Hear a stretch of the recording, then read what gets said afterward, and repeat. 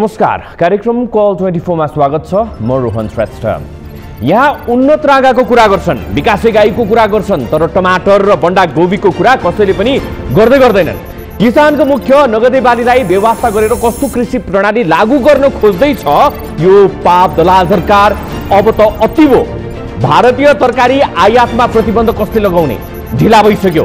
स्वदेशी किसानले रगत पसिना र हड्डी खियाएर उत्पादन गरेको टमाटरको मूल्य रड्डी जति पनि रहेन सडक खोला खेत आँगन जताततै फालिएको छ किसानप्रति यति अनुदार र हीन भाव इतिहासमा कहिले पनि भएको थिएन गोलबेडा कालीमाटीको सडकमा फालियो उचित मूल्य नपाएको कारण ठुला उद्योगीको स्वार्थको कारण करको दर हेरफेर गर्न सक्ने तर किसानको उत्पादनको मूल्य नतोक्ने सरकार किन चाहियो किसान मारा नीति स्वदेशी उत्पादन विरुद्धको निकाय पपेट हाबी भएको दुष्परिणाम हो यो आइतबार बिहान कालीमाटी तरकारी तथा फलफुल बजारमा किसानहरूले करिब तिस हजार किलो गोलबेडा सडकमा फालेका छन् कारण थियो प्रति केजी आठ रुपियाँमा त्यहाँका बिचौलियाले किनेर उपभोक्तालाई भने चालिस रुपियाँमा बेचिन्थ्यो एक केजीमा बिचौलियाले बत्तिस रुपियाँ खान्छ फ्याँकिएको गोलबेडाको हिसाब गर्ने हो भने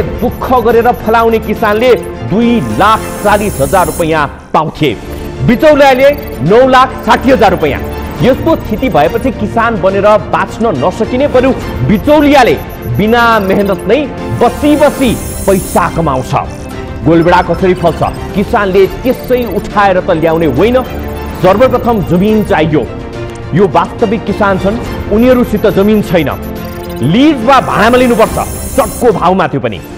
फेरि फ्याँकिएको गोलबेडा यही काठ क्षेत्रभित्रबाई फालिएका हुन्। फलाइएका पनि हुन् र फालिएका पनि यही नै हुन्। उपत्यकामा जग्गाको भाउ आकाशिएको छ भाउसँगै यसको भाडा पनि छ।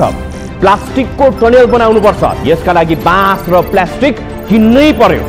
टनेल बनाउनेलाई ज्याला पनि दिनै पर्यो। सिँचाइ छैन। जमिन मुनिको पानी बिजुलीले तानेर निकाल्नुपर्छ। पानी पनि त्यसै आउँदैन। त्यसका लागि पनि पैसा तिर्नुपर्छ। मलखाद उपलब्ध नै छैन। किसानले अनेक दुःख कष्ट झेलेर बन्दोबस्त गर्नुपर्छ। झारपात उखेल्नुपर्छ। गोडमेल गरिरहनुपर्छ। बिहानै बेलुकी तरकारी बारीमा कुदिरहनु पर्ने बेला बेला कीटनाशक औषधि हालिरहनु पर्ने एक केजी गोलबेडा उत्पादन गर्न लागत कति पर्छ? दुःख कति गर्नुपर्छ? सहजै अनुमान गर्न सकिन्छ।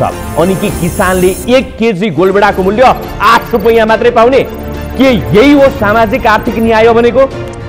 नेपालका किसानहरूले कहिले काउली सडकमा फाल्छन् कहिले बन्दाकोपी। कहिले सडकमा दुध फ्याल्छन् उपाय केही नदेखेपछि तर फालिएको सबैले देख्छन् पदमा बसेकाहरूले ठुला राजनैतिक बिचौलियाहरू चाहिँ देखेर पनि नदेखेको चाहिँ गरिदिन्छन्। किसानका लागि भनेर दुधमा प्रति लिटर चौध रुपियाँ बढाइयो। बिचौलियाले त्यस्तै छ रुपियाँ खाइदिए यहाँ मिल्क हलिडे मनाउनु पर्ने स्थिति छ। उता भारतीय कम्पनीले दुध फ्याक्ट्री खोल्ने अनुमति दिन तम्सने जन्मन्छन् धान उत्पादन गर्यो किसानले नै मूल्य पाउँदैनन्। सरकारले त्यसै बिचौलियाहरूसँग मिलिभगत गरी समयमै समर्थन मूल्य तोक्दैन। ऋणको भारले थिचिएका किसानले तिनै बिचौलियालाई कम मूल्यमा बेच्न बाध्य हुन्छन्। बिचौलियाको हातमा किसानले फाल फलाएका धान परेपछि अनि बल्ल सरकारले समर्थन मूल्य तोक्छ। निश्चय पनि बजार मूल्य निर्धारण गर्ने तत्व हो माग र आपूर्ति। यहाँ गोलबेडाको माग नभएको पनि होइन। हरेक भान्सामा गोलबेडा अनिवार्य जस्तै छ। तरकारी होस् कि अचार? होटल रेस्टुरेन्ट पार्टी प्यालेस जताततै गोलबेडा चाहिन्छ। केचप बनाउन गोलबेडा नै चाहियो। उद्योगले खपत गर्ने परिमाण पनि ठुलै हुन्छ। माग नभएका कारण आपूर्ति धेरै भएर मूल्यमा अन्तर आउनु एउटा विषय होला। माग भइ भई बिचौलिया मात्र मोटाउने परिपाटी र संयन्त्र खडा गर्नु अनैतिक कार्य हो। यो देश बिचौलियाले बिगारेको। राजनैतिक बिचौलियाले सिङ्गो पार्टी र व्यवस्थालाई धरापमा पार्दैछ। हाइड्रोका बिचौलियाले आकर्षक जनविद्युत आयोजनाहरू भारतको पोर्टामा पारिरहेका छन्। नक्कली भुटानी शरणार्थीका बिचौलिया मध्ये केही पल्ल कारागार पनि पुगेका छन् है? जेल बाहिरका बिचौलिया बिगबिगी छन्। यहाँ नीति खरिद गर्नुपर्छ मन्त्री र कर्मचारीसँग। अनि ठ्याक्कै आफैले चाहेको जस्तो नीति सरकारले कानुन बनाएरै ल्याइदिन्छ। केपी ओलीले कानुन बनाएरै नेपाल ट्रस्टका भएभरका जग्गा यति समूहलाई दिए। अघिल्ला अर्थमन्त्रीहरू युवराज खतिवडा जनार्दन शर्मा र हालका अर्थमन्त्री प्रकाशन महतले बजेटमै करका दर हेरफेर गरेरै व्यापारीलाई पोषे देश खोक्रो पारेका छन् यस्तै पदाधिकारी अनि बिचौलियाहरूले। माथिल्लो तहमा बिचौलियाहरू कायम रहेसम्म गोलबेडा र तरकारीका बिचौलियाहरू सलबलाउन छाड्ने भने अवश्य पनि छैनन्। अनि क्या सजिलोसँग भारतबाट तरकारी नेपालीमा का भान्सासम्म आइपुग्छन् बिना रोकटोक? न क्वारेन्टाइन गर्नु परेको छ न त ती भारतीय तरकारीमा कति विषादी छ हेर्नु नै परेको छ। निर्वाध आइरहेको छ आइरहेको छ। केपी ओलीका कृषि मन्त्रीले भन्सारमा भारतीय तरकारी क्वारेन्टाइनमा राख्नुपर्ने व्यवस्था लागू गर्न खोज्दा दुई दिन पनि टिकेन। बजार शास्त्रले उत्पादक र उपभोक्तासम्मको यात्रा तय गरेको छ। त्यसका लागि आफ्नै मूल्य मान्यता र सिद्धान्तहरू पनि छन्। किसानले पलाएको उठाउने व्यापारीले निश्चय पनि केही रकम पाउनुपर्छ। त्यो जायज हो। ढुवानी भाडा लोड गर्ने ज्याला झराउने ज्याला बोकाउने ज्याला अनि त्यसमा अलिकति नाफा। त्यसबाट अलिकति मूल्य अभिवृद्धि हुन्छ नै अनि किसानबाट एक रुपियाँ प्रति केजीमा उठाएर ल्याएको बन्दा उपभोक्ताले पैँतालिस रुपियाँ तिर्नु चाहिँ कतिको जायज हो? एक रुपियाँमा पनि उठाएनन् भनेर काभ्रेका किसानले बन्दागोपी भएकै बारीमा डोजर पनि लगाएका थिए। स्थानीय त तथा प्रदेश सरकारले शिष्यान केन्द्रको व्यवस्था गर्ने बजारीकरणका लागि सहयोग गर्ने माग र आपूर्तिको विश्लेषण गरी कम्तीमा किसानले फलाएको उब्जनीको केही नाफा गरी मूल्य तोक्ने संयन्त्र स्थापना गर्ने लगायतका थुप्रै काम गर्न सकिन्छ तर यी त बडा झन्झटिला काम। चुनाव आउन अझै चार वर्ष बाँकी छ भन्ने मानसिकता अधिकांश जनप्रतिनिधि भनाउँदाहरूमा छ। केन्द्रका मन्त्रीहरू तिनका कर्मचारीहरू संयन्त्र र प्रदेश तथा स्थानीय तहका जनप्रतिनिधि किसान दुःख उनीहरूले देख्दैनन्। पिर मर्काप्रति गहिरो उदासीनता सानेर उनीहरू बसेका छन् जसले गर्दा बिचौलियाको बिग बिगी छ। काठमाडौँ महानगरपालिकाका मेयरलाई एउटा सल्लाह। सबै भारतीय चलचित्रमाथि प्रतिबन्ध लगाएर वाहवाही कमाएका बेला अर्को अत्यावश्यक प्रतिबन्ध भारतीय तरकारीमा लगाउनुहोस्। स्वदेशी किसानलाई ठुलो राहत हुने थियो। अब किसानहरू पनि एकजुट हुनु जरुरी छ। विदेशी तरकारीको ब्रान्ड एम्बेसडरहरू विरुद्ध चुनाव लडेर किसानको सरकार बनाउनु जरुरी भयो। सत्तरी प्रतिशत किना किसान एकीकृत हुने हो भने परिवर्तन रोक्न कसैले पनि सक्दैन। यी र यस्तै विकृतिका अन्य विषय आजको कल ट्वेन्टी फोरमा हामीले समावेश गरेका छौँ। यसका अलावा तपाईँहरूका गुनासालाई हामी कार्यक्रममा प्रत्यक्ष समेट्नेछौँ।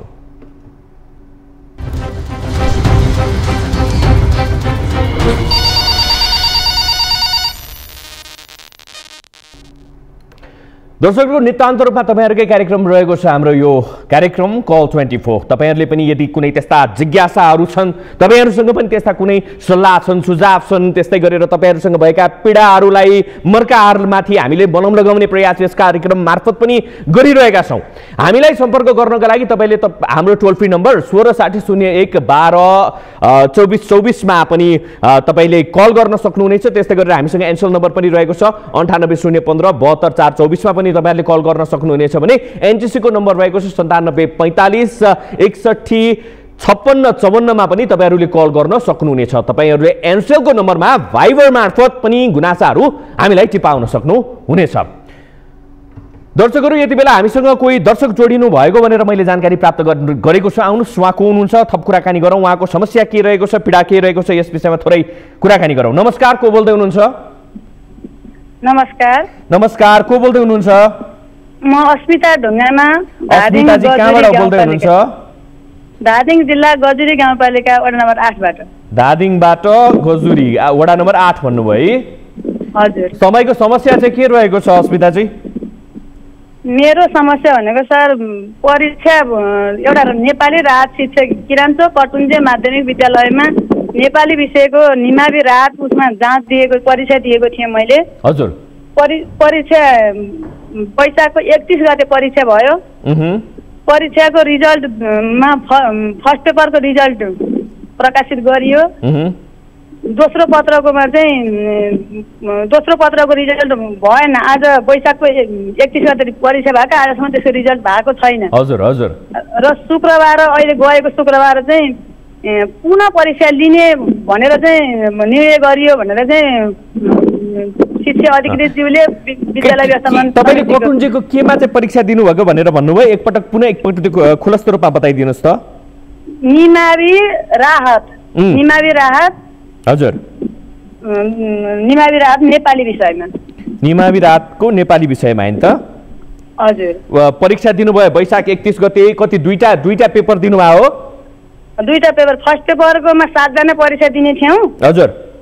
सातजनामा पाँचजना पहिलो पेपर पत्रमा आउट हुनुभयो। दुईजना हामी दुईजना थियौँ। सुनमाया साके र म अस्मिता ढुङ्गाना दुईजना थियौँ। दुईजना मध्येमा चाहिँ दोस्रो पत्रको दुईटा कपी चेक भएन परि परीक्षण भएन। अनि अनि दोस्रो पत्रको चाहिँ पुनः परीक्षा गर्नुपर्ने भनेर भनिएको छ कि अथवा। यो यो फर्स्ट पेपर र सेकेन्ड पेपर दुइटैको चाहिँ परीक्षा गर्नुपर्ने भनेको। छ? अब अब उहाँहरूको भनाइ अनुसारले चाहिँ उहाँ उहाँहरूले चाहिँ अध्यक्षज्यू व्यवस्थापन समितिको अध्यक्षज्यू र प्रज्यूले र उता बिनी विद्यालय निरीक्षकज्यूले चाहिँ ऊ फेरि पुनः परीक्षा गर्नुपर्ने भयो। किन किन भनेर भन्नुभएको छ? अध्यक्ष को हुनुहुन्छ त्यहाँ? बद्री प्रसाद जमकटेल शालिग्राम जमकटेलको आफ्नै भाइ। बद्री प्रसाद जमकटेल हुनुहुन्छ। हजुर। अनि त्यस्तै गरेर प्र? प्र दिपेन्द्र भण्डारी। दिपेन्द्र भण्डारी? हजुर। हजुर। अनि उनीहरूले चाहिँ के भनिरहेको छ? किन फेरि परीक्षा गर्नु पर्यो रे भनेका छन्? ए, उहाँहरूले चाहिँ आन्तरिक त्रुटिको कारणले भन्ने समस्या देखाउनु भयो सर। आन्तरिक त्रुटिमा चाहिँ अब उहाँहरूले पहिल्यै शिक्षक छनौटको उसमा चाहिँ पहिल्यै ऊ हुन ल पर्ने। यति बेला तपाईँको समस्या सुन्नको लागि हामीसँग यति बेला बद्री प्रसाद जमकटेल हुनुहुन्छ टेलिफोन सम्पर्कमा। बद्री सर नमस्कार। बद्री सर नमस्कार। हजुर नमस्कार। बद्री सर यति बेला तपाईँहरूसँग एउटा गुनासो आइपुगेको छ। निमावि राहतको जुन परीक्षा लिएको थियो। प्रथम निमावि राहतको जुन परीक्षा लिनुभएको थियो वैशाख एकतिस गते। हजुर। हजुर त्यसमा चाहिँ प्रथम पत्र र दोस्रो पत्र भनेर चाहिँ छुट्याइएको थियो। प्रथम पत्र पनि भयो। तपाईँ कहाँ हुनुहुन्छ यति बेला यहाँ अहिले बैठकमा छु म उम्, थोरै थोरै हामीलाई बताइदिनुहोस् किनभने तपाईँ यति बेला प्रत्यक्ष प्रसारणमा हुनुहुन्छ। के कारणले गर्दाखेरि पुनः परीक्षा गर्नु पर्यो भनेर चाहिँ भनिरहनु भएको छ तपाईँहरूले? हजुर। के कारणले गर्दाखेरि पुनः परीक्षा गर्नु पर्यो भनेर भनिरहनु भएको छ? के कारणले गर्दा? हजुर परीक्षामा त्यो माइनसिङ नभएको कारणले। भन्नाले परीक्षाभन्दा अगाडि पुरा पुऱ्याउनु पर्ने प्रक्रिया नपुगेको कारणले प्रथम पत्र पनि भइसकेको छ त्यस्तै गरेर दोस्रो पत्र पनि हुँदाखेरि चाहिँ अनि रिजल्ट आउनुपर्ने बेलामा फेरि यसरी चाहिँ पुनः परीक्षा लिनु पर्यो भन्दाखेरि त यहाँभित्र अलिकति शङ्का जन्मियो भन्ने किसिमका चाहिँ गुनासो यति बेला आइरहेको छ। तपाईँहरूले जस जसले चाहिँ परीक्षा दिनुभएको छ उहाँहरूबाट नै यस्तो किसिमको चाहिँ शङ्काहरू आइरहेको छ। आखिर भएको के हो भनेर कृपया खुलस्त रूपमा बताइदिनुहोस्। उहाँ पनि यति बेला हामीसँग टेलिफोन सम्पर्कमा नै हुनुहुन्छ। भएको त्यही हो अब त्यो फेरि पुनः परीक्षा हुन्छ परीक्षा आएपछि सङ्ख्या अङ्क सङ्ख्या त्यही हेर्नु हुन्छ के कारणले गर्दाखेरि चाहिँ तपाईँहरूको यो फेरि पुनः परीक्षा गर्नु पर्यो मैले भनिसकेँ कारण त्यो चाहिँ अब त्यहाँ पहिला गर्नुपर्ने प्रक्रियाहरू चाहिँ विभिन्न नियमहरू समिति गठन गर्ने छनौट गर्ने ऊ चाहिँ विज्ञ छनौट गर्ने कुराहरू प्रक्रिया नपुगेको कारणले हो। बद्रीजी यो प्रक्रियामा विगतमा नगएको कारणले गर्दाखेरि चाहिँ समस्या आएको हो अथवा चाहिँ के भएको? हो हजुर। यो यो यो प्रक्रियागत रूपमा चाहिँ हामी कमजोरी भएको हो यो परीक्षा लिँदाखेरि अथवा चाहिँ के भएको हो भन्न खोजेको? अब के भनेर चाहिँ तपाईँ आश्वस्त गर्नुहुन्छ? अस्मिताजी तपाईँ पनि यति बेला टेलिफोन सम्पर्कमा हुनुहुन्छ। कृपया तपाईँले पनि डाइरेक्ट प्रश्न राख्न सक्नुहुन्छ बद्रीजीसँग। सर यो आन्तरिक कारण केही पनि होइन। उहाँहरूको उहाँहरूको अनुसार आन्तरिक कारण केही पनि छैन सर। अहिलेसम्म बिनीले लगभग दुई सयजना टिचर राखिसक्नु भएको छ। उहाँ उहाँ पहिला आफू पनि शिक्षक हुनुहुन्थ्यो। उहाँ शिक्षकबाट चाहिँ अहिले ओटा दशज्यू पनि हुनुभयो उहाँ उहाँको त्यस्तो कुनै आन्तरिक समस्या होइन सर। यो मलाई जहाँसम्म लाग्छ आन्तरिक कारणले गर्दाखेरि होइन यो उहाँहरूकै बनावटी कुरा हो सर।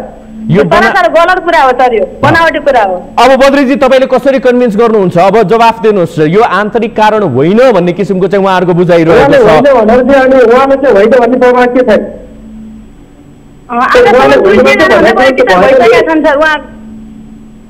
त्यही त यो त के हुनु तपाईँहरू फर्स्ट पेपर गरिसकेपछि फेरि दोस्रो पेपरबाट चाहिँ रिजल्ट आउट गर्नुपर्ने बेलामा यो त रूपमा चाहिँ शङ्का जन्मिँदैन र हुन्छ, बद्रीजी परीक्षा छिटो हुन्छ छिटै कुनै परीक्षा भएपछि त्यसपछि चाहिँ आउँछ त्यही हो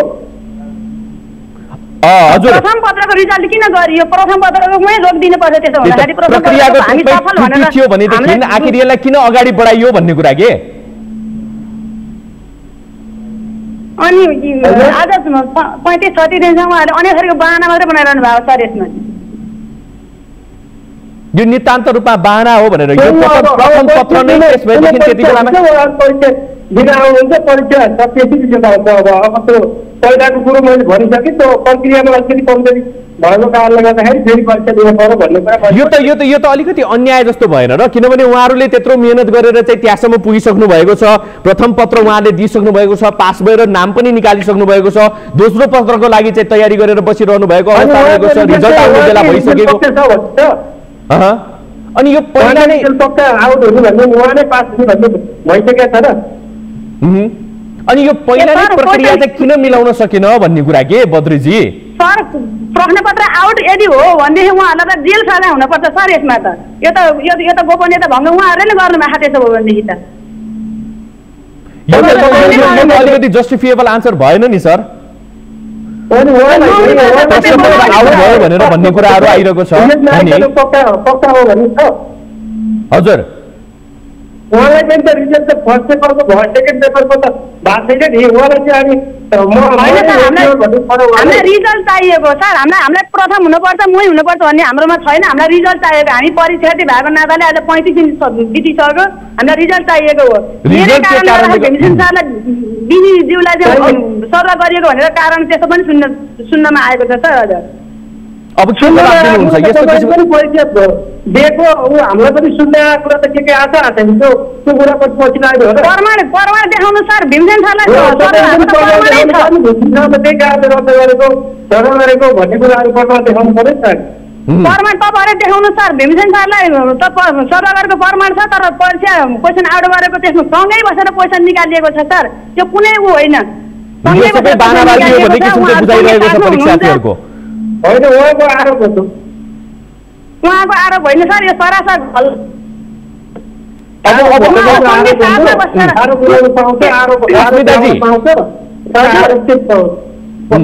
अस्मिताजी। अब अब अब के गर्न सकिएला त? अलिकति बताइदिनुहोस् त तपाईँ आफैले नै। यसको चाहिँ तपाईँहरूको क्लियर लाइन भनेको चाहिँ अब रिजल्ट आउट हुनु पर्यो भन्ने कुरा हो।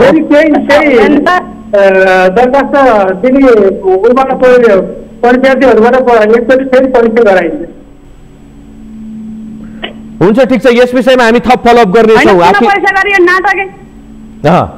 यस विषयमा हामी थप फलोअप गर्नेछौँ। कृपया अस्मिता अस्मिताजी हामी एकचोटि बसे यो यो यो यो भएको के हो? यस विषयमा थप कुराहरू गर्ने नै छौँ किनभनेदेखि हामीसँग यहाँ अरू रिपोर्टहरू पनि रहेको छ। र त्यस्तै गरेर चाहिँ हामीसँग हामीले बद्री प्रसाद जमकटेलाई हामीले कुराकानी गरेका थियौँ। उहाँले यो प्रश्नपत्र आउट भएको कारणले गर्दाखेरि चाहिँ यो समस्या आएको हो भनेर भनिरहँदा यस्तो इनजस्टिफिएबल आन्सर यो चाहिँ जस्टिस हुन नसक्ने कुराहरू रिजनहरू यति बेला आइरहेको छ। यस विषयमा हामी थप हजुर। सर यो यो सरासर गलत हो किनभने उहाँहरू आफै सँगै बसेर सातजना छ सातजना त्यहाँ विज्ञहरू सबैजना आफै बसेर पैसा निकालेर अनि तब मात्रै भएको छ। सर उहाँहरूको आफ्नो मान्छे भन्ने मान्छे नपर्नको कारण यस्तो भएको सर केही होइन उहाँहरू मुख्यमन्त्रीको उसको कारणले गर्दाखेरि यस्तो भएको सर यो केही नै होइन यो सरासर गलत हो।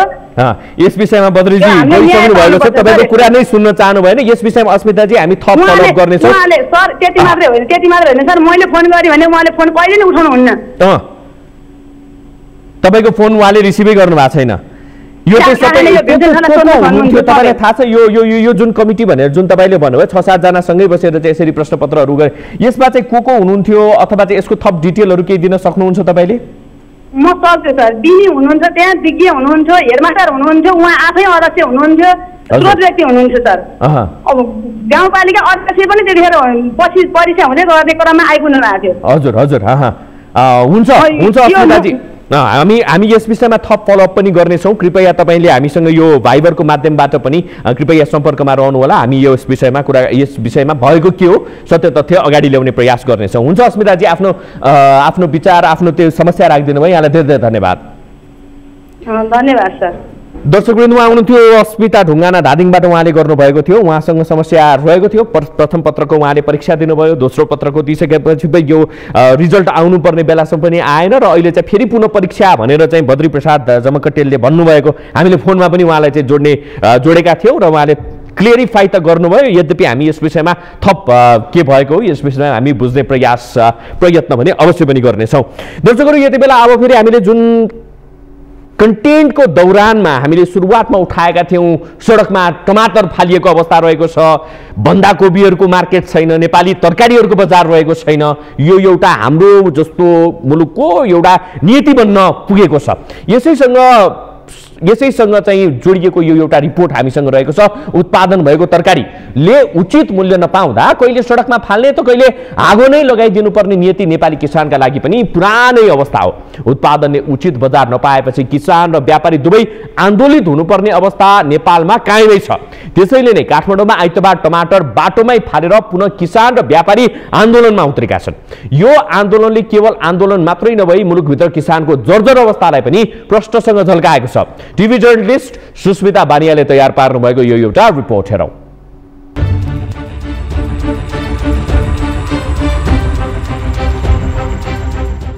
कहिले बजार अभावले त कहिले मूल्य अभावले किसानहरूले आफ्नो मेहनतले उब्जाएको तरकारी खोलामा बगाउनेदेखि जमिनमै आगो लगाउने तथा सडकमा फाल्ने गरेका छन्।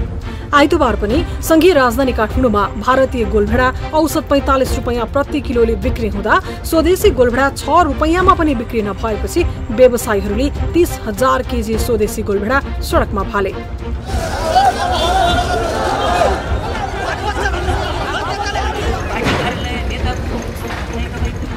आगामी आर्थिक वर्षको बजेट सार्वजनिक गर्दै अर्थमन्त्री डाक्टर प्रकाश शरण महतले स्वदेशी कृषि उपज वस्तुलाई प्राथमिकतामा राख्ने बताएका थिए।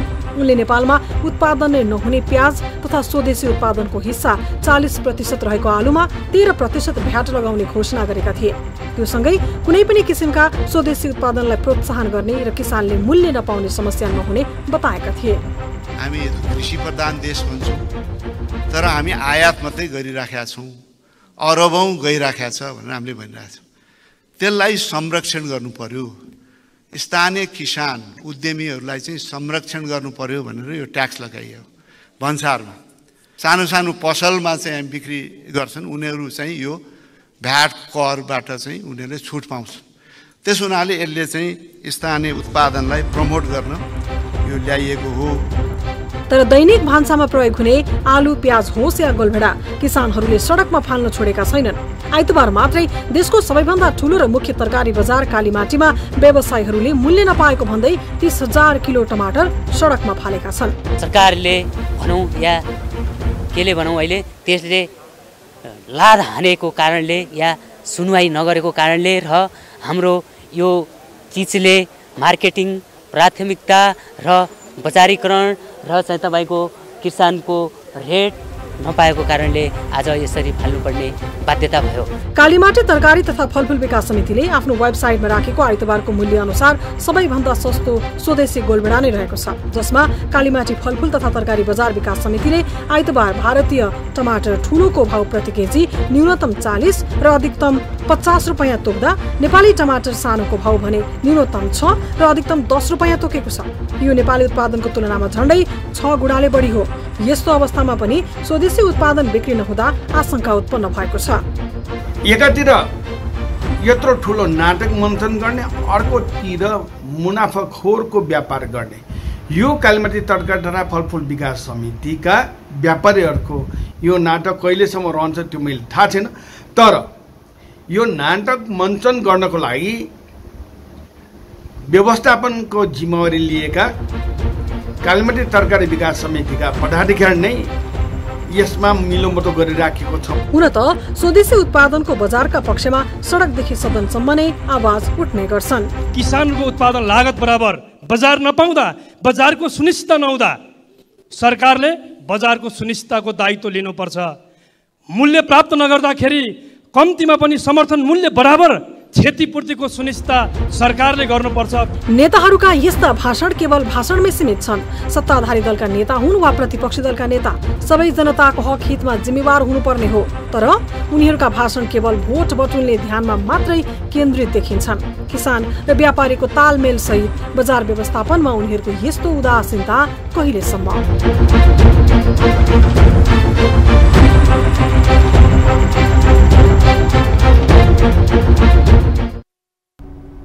यस्तो उदासीनता आखिर कहिलेसम्म यसै विषयमा कुराकानी गर्नको लागि यति बेला हामीसँग खाद्यका लागि कृषि अभियानका संयोजक उद्धव अधिकारी हामीसँग टेलिफोन सम्पर्कमा हुनुहुन्छ।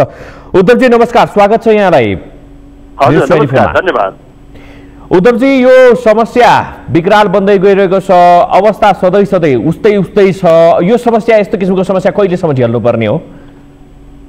अब यो चाहिँ पहिलो कुरा त यस्तो खालको समस्या समाधान गर्नका लागि यस्तो खालको समस्या नै नआओस् भन्नका लागि खडा गरिएका निकायहरू र त्यहाँ नियुक्ति गरिएका पात्रहरूलाई त्यो भनेको? नैतिक रूपमा उनीहरूलाई उभ चाहिने सही ठाउँमा उभ्याउनु नसकेसम्म हामीले यो खालको समस्या चाहिँ जहिले पनि जहिले पनि चाहिँ नि दोहोऱ्याइराख्नु पर्ने हामीसँग एक खालको विडम्बनापूर्ण अवस्थामा छौँ हामीहरू. ती पात्रहरू भनेर कसलाई कसलाई चाहिँ हामीले बुझ्न सकिएला? अब एकदमै तपाईँले मैले भने संरचनागत रूपमा भन्नुहुन्छ भने कृषिका कृषिको व्यवसाय प्रवर्धन गर्न भनेर चाहिने खडा भएका निकायहरू छन् कृषिको उत्पादन वृद्धि गर्न भनेर खडा भएका निकायहरू छन् त्यहाँ तपाईँको यो सरकारी संयन्त्रको कुरा गर्नुहुन्छ भने तपाईँ यदि इलेक्टेडबाट हेर्नुहुन्छ भने नेपालको कृषिलाई समग्र कृषि प्रधान मुलुकको कृषि अगाडि लिएर जानका लागि भनेर तपाईँको तिन तहका सरकार र त्यहाँभित्र भएका इलेक्टेड चाहिने जनप्रतिनिधिहरूलाई पनि सँगै गाँसेर हेर्ने हो भने यो यो सबैलाई एउटै डालोमा हालेर हेर्न सकिन्छ यो मानेमा। यो यस्तो किसिमको चाहिँ समस्या हरेक वर्ष जस्तो हरेक महिना जस्तो हामीले भोग्दै आएको समस्या हो। तपाईँले भनिहाल्नुभयो यो चाहिँ अब अ, कटकराबै ल्याउनुपर्छ यस्ता किसिमका चाहिँ पात्रहरूलाई भनेर तपाईँले भनिरहनु भएको छ होइन? समस्या जिउका तिउ छ समाधान गर्ने निकाय किन तैचुप मैचुपको अवस्था चाहिँ सृजना भइरहेको होला? किन चाहिँ हामीले हाम्रो भित्रको चाहिँ उत्पादनलाई चाहिँ अभिवृद्धि गर्न सकिरहेका छैनौँ? समस्या कहाँ कहाँ रहेको छ? कसरी विश्लेषण गर्न सकिएला उद्धवजी? होइन समस्या दुईटा एउटा तपाईँको नीतिगत समस्या छ एउटा नियतगत समस्या छ होइन? र यहाँ नीतिभन्दा पनि नियत ठुलो समस्याको रूपमा आएको छ नेपाली कृषिलाई प्रवर्धन गर्नका लागि होइन? अब तपाईँको जो सरकार कृषिको व्यावसायीकरणका कुरा गर्छ आधुनिकरणका कुरा गर्छ यान्त्रिकरणका कुरा गर्छ कृषिको औद्योगिकरणका कुरा गर्छ तर यहाँ निक्लेको सरी तिन ट्रक चाहिँ गोलभेडा पनि राम्रो व्यवस्थापन गर्न सक्दैन। र चाहिँ ऊ के भन्छ त्यो के बिउ खोज्नेदेखि लिएर मल खोज्नेदेखि लिएर प्रविधि खोज्नेदेखि लिएर चाहिँ के भन्छ अन्तिममा प्रकृतिसँग जुझ्दै भिज्दै अन्तिममा बजारसँग समेत त्यही एउटा एक्लो किसानलाई लडाइरहेको छ तर त्यसको प्रवर्धन गर्नका लागि चाहिँ खडा भएका निकायहरू त्यसमा मुखदर्शक बनिरहेका छन्। यो गोलभेडाको मात्रै केस होइन। तपाईँहरू सञ्चार माध्यमहरूलाई पटक पटक यो विषय उठान गरिराख्नु भएको छ। दुधको सवालमा त्यही छ। दुई तिन वर्ष अगाडि अदुवाको सवाल त्यही थियो। कुखुराको सवाल हामी पटक पटक भेट भेट देखिरहेका छौँ। अब तपाईँको बन्दाको समस्या अस्ति भर्खरै त्यस्तै थियो उखुको समस्या त्यस्तै छ भने चाहिँ जे चिज फल्यो त्यो फाल्नु पर्ने जो अवस्थामा फेरि पनि व्यवसायीकरणका नाममा यहाँ जागिर खानेहरू चाहे सेलेक्टेड हुन् चाहे इलेक्टेड हुन् उनीहरूले नैतिकताको चाहिँ कसीमा उभिनुपर्छ र उनीहरूलाई नउभ्याउन्जेलसम्म यो चाहिँ उनीहरू कानमा तेल हाल्न बस्छन्। यो किसानको चाहिँ नि क्षति भयो। अब अब कति दुःख गरेर उसले चाहिँ आफ्नो एउटा चाहिँ नि उत्पादन गरेको चिज जसरी सडकमा मिर्काइयो त्यो सँगसँगै त्यहाँ गोलभेडा मात्रै मिर्काइएको छैन। उसले उसको बैङ्कको ऋण अब कसरी तिर्ला त्यो बैङ्कको ब्याज कसरी तिर्ला त्यो सँगसँगै परिवारका सपनाहरू पनि त्यहाँ सडकमा मिर्काइएको छ। खेती गर्ने जाँगर पनि अब सडकमै चाहिँ मिर्काइएको अवस्था छ। भनेपछि भोलिका दिनमा कसरी हामीले के उत्पादनमा संलग्न हुने जनशक्तिहरू बढाउँदै लाने हो? मान्छेहरू दिनानुदिन कृषि पेसाबाट यसरी पलायन हुने खालको अवस्थाको सृजना हुँदै जाँदा पनि हाम्रो सरकार चाहिँ उल्टो किसान घटाउनुपर्छ यो देशमा धेरै भयो भन्दै भन्दै चाहिँ तपाईँको छिमेकी मुलुकका उत्पादनहरूलाई चाहिँ रातो कार्पेट बिचाउने र नेपाली किसानलाई चाहिँ जहिले जहिले पनि असहज मात्रै पार्ने काममा मात्रै नेपालको चाहिँ सम्बन्धित निकायहरू चाहिँ यसमा बढी लागिरहेको देखिन्छ। भन्नाले बिचौलिया मोटाउने काम मात्रै हुँदै गयो नेपालमा। यथार्थमा त्यही हो त्यो किनभने तपाईँको स्पष्ट छ कि तपाईँको धेरै परै जानु पर्दैन। यहाँभन्दा त्यो तिस किलोमिटर पर फलेको धादिङमा फलेको चिज यहाँ आउँदाखेरि तपाईँको चाहिँ चार सय पाँच सय गुणा मूल्य वृद्धि हुन्छ। किन त्यहाँ नियमन हुन सक्दैन किन अनुगमन हुन सक्दैन किन त्यस्ता कालाबजारीहरूलाई समातेर कारवाही हुन सक्दैन? आजसम्म एकजना कालाबजारीले समातेर कारवाही भयो भन्ने सो कुरा तपाईँहरूको सञ्चार सञ्चार माध्यमले न्युज बनाउन पाएको छ या हामीले सुन्न पाएका छौँ? छैनौँ नि। कालाबजारी भइरहेको छ। तर यो चाहिँ के भने सबैको एक खालको मिलीभगतका हिसाबले यो बिचरा किसान निरीह किसान जो चाहिँ आफैमा ठुलो शक्ति हो र पनि यो सरपष्ट भएका कारणले गर्दा यो जहिले पनि यो पीडामा मात्रै बाँच्नुपर्ने जो अवस्था छ यो यो मिली समग्र भगतको मुलुककै लहरो चाहिँ कहाँसम्म गएर चाहिँ छुँदो रहेछ? कहाँसम्म गएर चाहिँ पुग्दो रहेछ? कसरी विश्लेषण गर्न सकिएला उद्धवजी? अब यसलाई दुईटा बाटोबाट हेर्न सकिन्छ। एउटा नियतका हिसाबले भनौँ न कसैले यो किसान मर्दै गर्दाखेरि पनि नदेखे चाहिँ गर्ने खालको एउटा नियतगत प्रश्न भयो भने एउटा ठुला खालका व्यापारीहरू जो चाहिँ जस्तो ठुला उत्पादनहरूमा तपाईँको दुधको कुरा गर्नुहोस् तपाईँ तपाईँ पोल्ट्रीको कुरा गर्नुहोस् यी ठुला ठुला उत्पादनहरूमा चाहिँ तपाईँको स्वाभाविक रूपमा यो यो लहरो चाहिँ यो एकदमै भित्रभित्रसम्म जोडिएर गएको छ। अब यसलाई तान्ने कसले हो र कहिले हो भन्ने मात्रै कुरा हो। त्यसको लागि एउटा किसिमको चाहिँ कसले कबाट सुरुवात चाहिँ कोबाट गर्ने भन्ने मात्रै एउटा चाहिँ मेजर प्रश्नको रूपमा चाहिँ खडा भएको छ। यो बिचौलियालाई निमिट्यान गर्न सकिन्न भने अथवा चाहिँ कुनै एउटा नियमन हामीले गर्न सक्ने अवस्था रहन्न हाम्रो नीति तपाईँले भन्नुभयो नि नीतिगत रूपमा भनेर पनि दुईटा कुरा छुट्याउँदाखेरि एउटा नियत अर्को नीति भन्नुभयो। नियतको ब्रिफिङ हामीले हामीले गऱ्यौँ। नीतिगत पनि त्यस्ता कुनै समस्याहरू रहन्छ। होइन नीतिगत प्रश्न छ नि त। नीतिगत प्रश्नलाई तपाईँ कसरी हेर्न सक्नुहुन्छ भने जब हामी एउटा दुईटा विशाल अर्थतन्त्र भएका मुलुकहरूको बिचमा हामी हाम्रो नेपाल छ यो कुरा दुनियाँलाई थाहा छ। कि अहिले चाहिँ तपाईँको हाम्रो अधिकांश अहिले हामी तरकारीको सन्दर्भमा रहेर कुरा गर्दाखेरि हाम्रो चाहिँ सिक्सटी पर्सेन्ट भन्दा बढी तरकारी चाहिँ हाम्रो दक्षिणी छिमेकीबाट आइरहेको सन्दर्भ पनि दुनियाँलाई थाहा छ। र त्यो उत्पादनहरूलाई जबसम्म हामीले चाहिँ एक खालको ब्रेक लगाउँदैनौँ त्यसलाई सहज रूपमा त्यहाँबाट आउने उत्पादन पनि लगभग सी ग्रेडका उत्पादन मात्रै नेपालभित्र रहेका छन् भन्ने कुरो पनि सबैलाई थाहा छ। तर त्यो उत्पादनलाई जबसम्म हामीले चाहिँ एक खालको बन्देज लगाउन सक्दैनौँ त्यसलाई एक खालको भनौँ न बन्देजै नभन्दा पनि त्यसलाई कसरी हुन्छ एक खालको हाई ट्याक्स लगाएर हुन्छ कि अथवा त्यसलाई निरुत्थान गर्न सक्दैनौँ त्यतिखेरसम्म त हाम्रो नेपाली कृषि उपजहरूले कहिले पनि बजार पाउने सम्भावनै रहँदैन अ, किनभने उनीहरूको भोल्युमबाट हेर्ने हो भने उनीहरूको सरकारले दिएको अनुदानबाट हेर्ने हो भने यी सबै चिजहरूबाट हेर्दाखेरि चाहिँ नेपाली नेपाली किसानहरूले व्यावसायिकताको चाहिँ नि रहर नगर्दा पनि हुन्छ। यो खालि प्रेम आचार्यहरू जन्माउने एउटा बाटो मात्रै हुन्छ नेपालको व्यावसायिक कृषिको व्यावसायीकरणको कुरा। तर त्यो त्यो त्यो चिजलाई रोक्नका लागि नीतिगत रूपमा चाहिँ राज्यले खोइ त पहल गरेको भन्ने खालको प्रश्न जहिले पनि आइरहेको छ कि हामी हामी हामी आफूसँग सम्भावना भएका चिजहरू किन बाहिरबाट ल्याउनलाई हामी बढी प्रोत्साहन गरिरहेका छौँ? किन त्यसलाई निरुत्साहन गर्दैनौँ? हामी तिन महिनाको अवधि दिने हो भनेदेखि त हाम्रो हाम्रो नेपालीहरूलाई पुग्ने उत्पादनहरू त सहज रूपमा उत्पादन गर्न सक्ने भूगोल प्रकृतिले हामीलाई दिएको छ नि त। कम्तीमा तिन महिनाको अल्टिमेटम दिएर हामीले बाह्य उत्पादनहरूलाई निरुत्साहन गर्ने र आम उपभोक्ता र किसानलाई सुसूचित गर्ने भने त उत्पादन हामीले नेपालीलाई पुग्ने मात्रै होइन हामीले बा- बाहिर निर्यात गर्ने समेत उत्पादन गर्ने एउटा लहर आउन। यहीँनिर एउटा प्रश्न चाहिँ के पनि जन्मिएको छ भने उद्धवजी। अहिले कस्तो किसिमको पनि ब्रिफिङहरू भइरहेको छ यदाकदा विश्लेषणहरू पनि हुन्छ भनेदेखि नेपाली आन्तरिक उत्पादनले मात्रै नेपालको चाहिँ हाम्रो मार्केट धान्न सक्ने अवस्था पनि रहेको छैन। त्यही कारणले गर्दाखेरि चाहिँ हामीले निमिट्यान्नै पनि पार्न सक्दैनौँ। यसले यसले चाहिँ यो पोलिसीगत रूपमा चाहिँ पनि धेरै किसिमका जटिलताहरू रहिरहेका छन् भन्ने किसिमको विश्लेषण पनि हुन्छ। के साँच्चै नै हामीले चाहिँ हाम्रो आन्तरिक उत्पादनले एउटा हाम्रो मार्केटमा चाहिँ डिमान्ड अनुसारको सप्लाई गर्न नसक्ने अवस्था हो? ठिक छ आज भएन तर मैले अघि भने त। तिन महिनाको समय दिएर हामीले बाह्य उत्पादनलाई निरुत्थान गर्ने हो भने किसान उत्पादनमा लाग्दैन।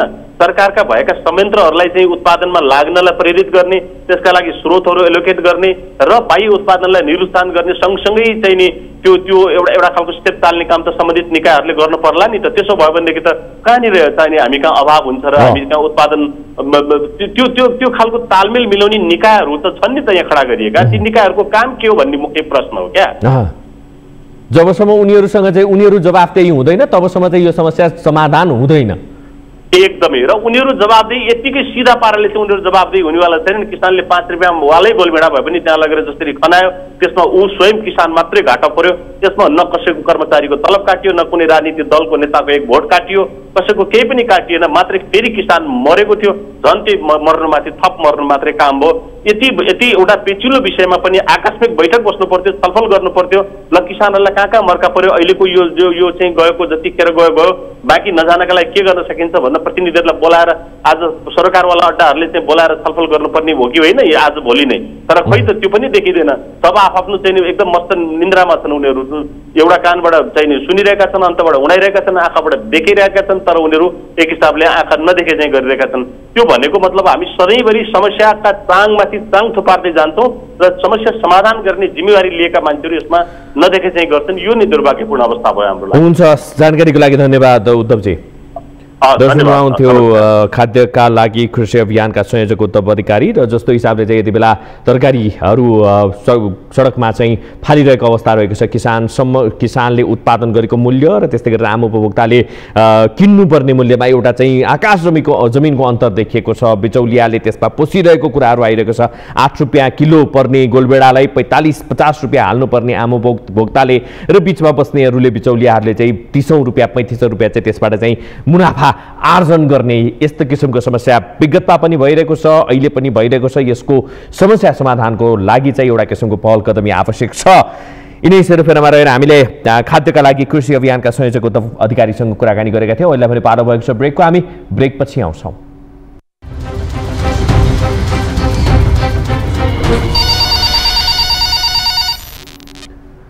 दर्शकहरू पुनः स्वागत छ। हामी यति बेला कल ट्वेन्टी फोरमा छौँ र नेतान्तर रूपमा तपाईँहरूको समस्याहरूलाई पनि हामीले सम्बोधन गर्ने प्रयास यस कार्यक्रम मार्फत गरि नै रहेका छौँ। हाम्रा हाम्रो न्युज ट्वेन्टी फोर टेलिभिजन तपाईँहरूको समस्या तपाईँहरूको पीडा सुन्नको लागि तपाईँहरूको पीडामा तपाईँहरूको समस्यामा थोरै भए पनि मलम लगाउनको लागि त्यो समस्या समाधान गर्नको लागि नितान्त रूपमा अहोरात्र खटिने रहेको अवस्था रहेको छ। हाम्रा विभिन्न कार्यक्रमहरू कल ट्वेन्टी फोरदेखि लिएर तपाईँको सिधा कुरा जनतासँग र त्यस्तै गरेर न्युज काबल एटिनहरूमा पनि तपाईँका समस्याहरूलाई हामीले उजागर गर्ने प्रयास हामीले गरिरहेका छौँ। तपाईँहरूले पनि यदि त्यस्ता कुनै समस्याहरू छन् भनेदेखि हामीलाई टेलिफोन गर्न सक्नुहुनेछ। हाम्रो टोल फ्री नम्बर रहेको छ सोह्र साठी शून्य एक सोह्र साठी शून्य एक दुई चौबिस चौबिसमा पनि कल गर्न सक्नुहुनेछ।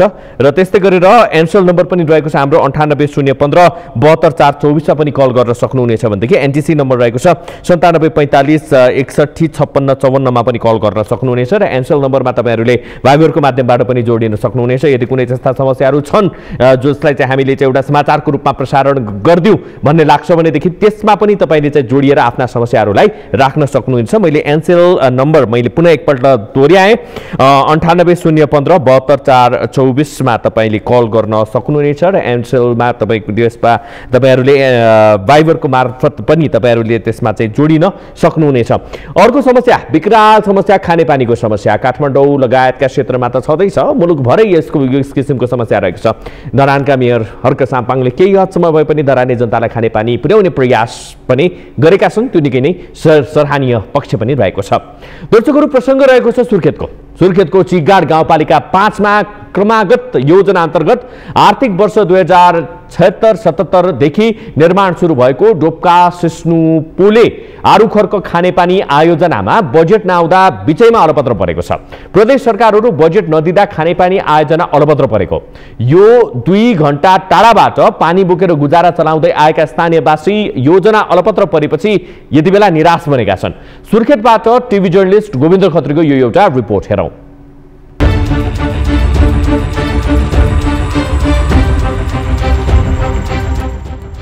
लस्कर हो पानी बोकेर फर्कँदै गरेका सुर्खेतको चिडाङ गाउँपालिका पाँच आरु खर्कवासीको यहाँका बिसदेखि पच्चिस घर परिवारले हरेक दिन यसै गरी पिठ्यूमा बोकेर दुई घण्टा टाढाबाट पानी ल्याएर गुजारा गर्दै आएका छन्। घरमा पालेका पशुलाई समेत घण्टौं बोकेर ल्याइएको पानी खुवाउनु पर्ने बाध्यता छ जसले गर्दा विशेष गरी त्यहाँका महिलाहरूको पानीको जोहो गर्दैमा दिनको आधी उधी समय बित्ने गरेको छ। घरमा एक्लै हुने ज्येष्ठ नागरिक र स्कुले बालबालिकाले समेत सकि नसकी घण्टौं हिँडेर टाढाबाट पानी ल्याउनु पर्ने बाध्यता छ।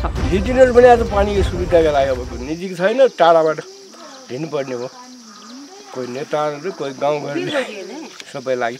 सुरक्षा गार्ड त बसी आउँदैनन् अब रातमा जान्छौँ लाइट बलिया देख्ने रहेछन् रातभरि पानी बोकिरहन्छन् भन्छन्। साँझ बिहान पाँच बजी खोल्छ नि त पानी। अँ, अब साँझ बिहान खोल्छन् त्यहाँ खोल्ने उजु। हाम्रो त अब रातमा जाने भयो दिउँसो त देख्छन्। अब रातमा पनि लाइट बलिया देख्दो रहेछन्। यो अहिले प्रदेश सरकारले चासो नगरेर यो कर्मागत योजनामा अहिले सम्पन्न हुने योजना हो ऊ किन सम्पन्न गरेन? किन हालेन यसले आफ्नो सम्पन्न गर्ने बजेट त हाल्नु पर्थ्यो अनि हामीलाई अब यो सुक्खा खडेली बस्ती हुँदाखेरि प्रदेश सरकारले किन हालेको पहिला? के नहुने हुन्थ्यो भने हुँदैन भनेर कर्मागत योजना भन्दा त कुनै योजनै नहाल्नु थियो। यदि कर्मागत योजना हो भने सम्पन्न गर्नु थियो। डाँडाको बस्ती भएकाले नजिक पानीको स्रोत छैन। वर्षामा आकाशे पानी सङ्कलनका लागि घर घरमा घैँटा बनाइएको छ। जसबाट हिउँदसम्म केही सहज भए पनि खडेरीका तीन चार महिना भने पानीको हाहाकार मचिने गरेको छ। दुई घण्टा हिँडेर पुगिने डोब्केमा पनि पर्याप्त पानीको स्रोत छैन। ट्याङ्कीमा पानी कति छ भन्ने आधारमा एक दुई गाग्रीका दरले मात्रै भर्न पाइन्छ। सुर्खेत र दैलेखको सिमानामा पर्ने यो बस्तीको केही नजिकबाट धरम पोखरा बजारमा पानीको पाइप लाइन लगिएको छ। उक्त पानी धरम पोखरा बजारलाई समेत पर्याप्त नभएकाले आरु खर्कवासीलाई प्रयोग गर्न दिइँदैन। तर आरु खर्कवासीले कहिलेकाहीँ त्यहाँ पानी चोरेर प्रयोग गर्ने गरेका छन्। के गर्नु? बिहानभरि लाग्छ खान जानुपर्छ कस बेला खाना बनाउने यहाँबाट पानी लगेर कस बेला फेरि गाई ढिङ्गालाई पाएको सम्पत्तिलाई पानी बोक्नुपर्छ अझ। यहाँ ल्याऊँ भने टाढा छ।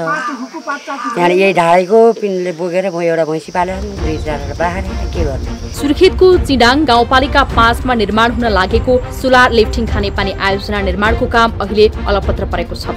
आरु खर्क सिन्नु पुले डोब्के र धरम पोखरा समेतका करिब एक सय घरधुरीलाई लक्षित गरी निर्माण सुरु गरेको खानेपानी आयोजना बजेट अभावले बीचमै रोकिएको हो कर्णाली प्रदेश सरकार अन्तर्गतको खानेपानी सिंचाई तथा विकास निर्देशनालयबाट आर्थिक वर्ष दुई हजार छिहत्तर सतहत्तरदेखि क्रमागत आयोजनाका रूपमा डोका सिस्नु पोले आरु खर्क लिफ्ट खानेपानी आयोजना सुरु भएको थियो। त्यसपछि तीन आर्थिक वर्षमा आएको रकमबाट आयोजनाको मुहानको ट्याङ्की पावर हाउस रिजर्भ वायर टङ्की मुख्य पाइपलाइन लगायतका करिब सम्पूर्ण भौतिक निर्माणका काम सकियो। अब सोलर सिस्टम र मोटर जडान गरेपछि पानी आउन सुरु हुन्छ।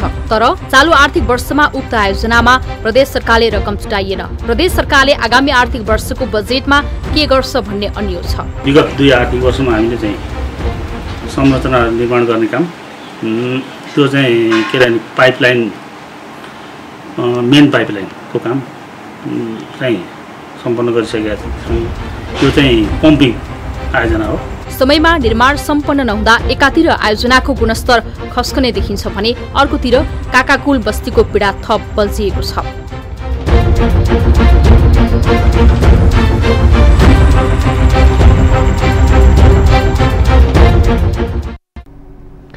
दर्शकहरू यी र यस्तै किसिमका चाहिँ समस्याहरू गुनासाहरू छन् भनेदेखि तपाईँले हामीलाई सम्झन सक्नुहुनेछ। दर्शकहरू हामीले थोरै भए पनि हाम्रो यो कार्य कार्यक्रमको मार्फतबाट तपाईँहरूको ती समस्याहरूलाई तपाईँका ती गुनासाहरूलाई सम्बोधन गर्ने प्रयास गर्नेछौँ। हामीले कार्यक्रमको सुरुवातमा आज अस्मिता ढुङ्गानासँग कुराकानी गरेका थियौँ। उहाँले आफ्नो समस्या राख्नुभएको थियो र उहाँको समस्यालाई सम्बन्धित पक्ष बद्री प्रसाद जमकटेलसँग पनि हामीले पुर्याउने प्रयास गऱ्यौँ यद्यपि कुरा भनेदेखि बद्रीजी आफैले पनि अब पुनः परीक्षा गर्नुपर्छ भन्ने किसिमका चाहिँ कुराहरू आइरहेको छ र त्यो पुनः परीक्षा के का लागि त? भनेर पनि एउटा किसिमको शङ्का चाहिँ यति बेला जन्मिरहेको अवस्था रहेको छ। त्यस विषयमा हामी थप फलोअप पनि गर्ने नै छौँ। त्योदेखि बाहेक आएर हामीले चाहिँ सडकमा टमाटर टमाटर फालिएको पछिल्लो किसानहरूको जुन समस्या रहेको छ त्यसलाई पनि उजागर। किनभनेदेखि कृषिलाई एउटा किसिमले हामीले आत्मनिर्भर बन्ने भनेर भनिरहँदा पनि सोको सम्बोधन भने उचित ढङ्गबाट हुन सकिरहेको छैन। त्यो विषयलाई पनि हामीले उजागर गर्ने प्रयास गऱ्यौँ र खानेपानीको समस्या त छँदैछ। यी र यस्तै किसिमको चाहिँ तपाईँहरूसँग पनि समस्याहरू छन् भनेदेखि हामीलाई सम्पर्क गर्न सक्नुहुनेछ। न्युज ट्वेन्टी फोरमै आएर तपाईँले चाहिँ आफ्नो समस्या राख्न चाहनुहुन्छ भने पनि हाम्रो ढोका तपाईँहरूको लागि चौबिसै घन्टा खुला रहेको छ। त्योदेखि बाहेक आएर सिधा कुरा जनतासँग र त्यस्तै गरेर हाम्रो यही कार्यक्रम कल ट्वेन्टी फोरमा पनि तपाईँले आफ्ना समस्याहरू राख्न सक्नुहुनेछ भनेदेखि न्युज बुलेटिनहरू पनि तत्पर रूपमा तपाईँका ती समस्याहरूलाई सम्बोधन गर्नको लागि हामी तयारी अवस्थामा नै रहेका छौँ। तपाईँले हामीलाई टेलिफोन गर्नको लागि हामीले टेलि टोल फ्री नम्बर पनि भनिरहेका छौँ। त्यसमा तपाईँले जुनसुकै समय कल गरेर पनि आफ्ना समस्या टिपाउन सक्नुहुनेछ। एन्सेल नम्बर पनि रहेको छ अन्ठानब्बे शून्य पन्ध्र बहत्तर चार सौ चौबिस। मैले एन्सेल नम्बरलाई अलिकति मैले यति बेला तपाईँहरूको लागि भनेर फोकस किन गरिरहेको छु भन्दा एन्सेलको नम्बरको माध्यमबाट तपाईँहरूले भाइबर हामीले एनसेलको नम्बरमा भाइबर राखेका छौँ र एनसेलको नम्बरमा भाइबरको मार्फतबाट पनि तपाईँहरूले आफ्नो समस्या जस्ताका तस्तै तपाईँहरूसँग यदि त्यस्ता फुटेजहरू भिजुअलहरू छन् भिडियो छ भनेदेखि त्यो भिडियोको मार्फतबाट पनि तपाईँहरूले आफ्नो समस्या राख्न सक्नुहुनेछ। एनजिसीको नम्बर पनि रहेको छ। सन्तानब्बे पैँतालिस एकसठी छप्पन्न चौवन्नमा पनि तपाईँहरूले कल गर्न सक्नुहुनेछ। दर्शकहरू आजको लागि कल ट्वेन्टी फोरको समय सकिएको छ। हेर्दै रहनुहोला न्युज ट्वेन्टी फोर टेलिभिजन। नमस्कार।